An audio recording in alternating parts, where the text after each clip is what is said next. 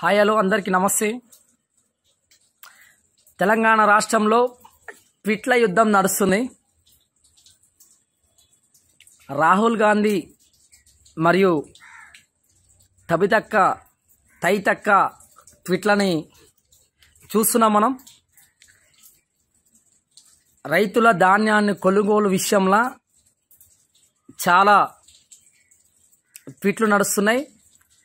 మన ఆర్మూరు అరటిపండు ట్విట్ల విషయం మనం చూస్తూనే ఉన్నాం. మరి Armur Pande ఏమంటుండంటే Rahul Gandhi new sense Revanth nonsense అంటుండు. మరి ఈ కాంగ్రెస్ పార్టీ లేకపోతే మీరందరూ ఏడ బతికేటోళ్ళు తమ్మి? నిజంగా సోనియా గాంధీ గారు పన్నెండు వందల మంది విద్యార్థులు ఆత్మ బలిదానం చేసుకుర్రు.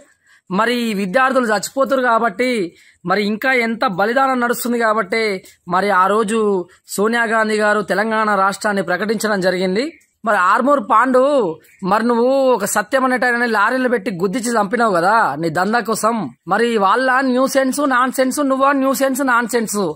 ఆర్మూర్ అరటి పండు మరి నువ్వు ఇది కూడా చెప్పాలి. మరి వాస్తవంగా నువ్వైతే మెంటల్ హాస్పిటల్ను యాన్నో రియాబ్ సెంటర్లో చేరాల్సిన అవసరం అయితే చాలా ఉంది.